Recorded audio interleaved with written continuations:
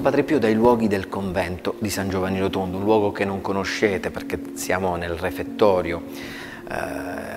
di, del convento di San Giovanni Rotondo. Questo era il luogo dove Padre Pio eh, si eh, sedeva eh, per pranzare insieme ai suoi eh, confratelli. Invece qui c'è il luogo dove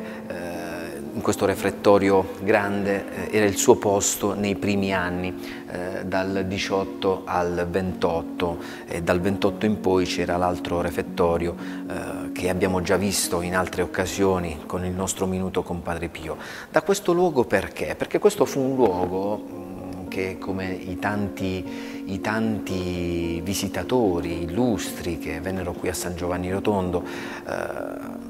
si fermavano spesso, avevano modo anche di colloquiare con gli stessi frati. In questo luogo c'è stato anche un altro grande santo, San Giovanni Paolo II, quando giunse qui da cardinale nel 1974. Eh, furono dei giorni intensi, lui venne qui proprio per ricordare la sua ordinazione eh, sacerdotale, eh, venne insieme ad altri sacerdoti polacchi, ehm, si, sedette proprio qui eh, con eh, gli altri frati per la colazione colazione. Eh, in fraternità, in quel giorno, proprio qui a San Giovanni Rotondo, c'era anche un altro importante eh, figlio spirituale di Padre Pio, che era Fra Daniele Natale, eh, fratello laico, oggi servo di Dio, che stette qui col Papa eh, per servire la colazione.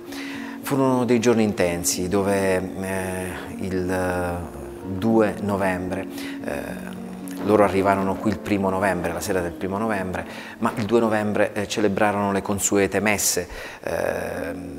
per i defunti, una prima messa nella cripta dove fu lo stesso eh, lo stesso Voitila a presiedere e durante l'omelia disse specialmente impressionante, profondo il fatto che celebriamo questa Eucaristia vicino alla tomba di Padre Pio che predicava la passione, morte, risurrezione eh, di Gesù, eh, nostro Signore per mezzo di tutta la sua vita. Eh, terminata la messa, prima di togliere i paramenti sacri, il porporato si mise in ginocchio quasi un quarto d'ora dinanzi alla eh, tomba di eh, Padre Pio. E poi ancora una seconda celebrazione, eh, questa volta invece eh, l'omelia la, la, tenne il Vescovo d'Escur che ricordò che il cardinale era lì proprio per commemorare la sua ordinazione. Siamo nella,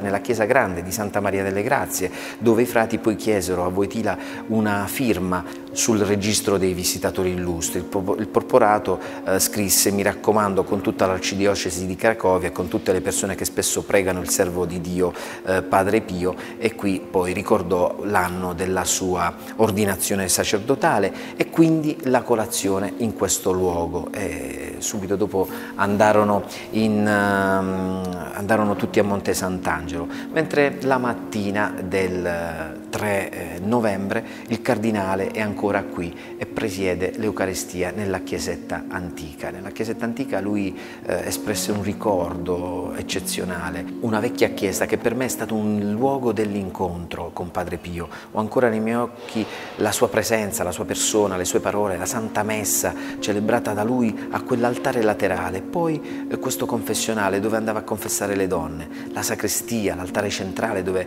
adesso siamo noi e dove dopo la sua messa lui distribuiva la Santa Comunione. Di qui eh, i frati poi lo hanno accompagnato nei luoghi del convento e fu per lui una giornata intensa, particolare, significativa per ricordare non solo un grande amico, un santo, ma per ricordare la sua ordinazione sacerdotale qui a San Giovanni Rotondo.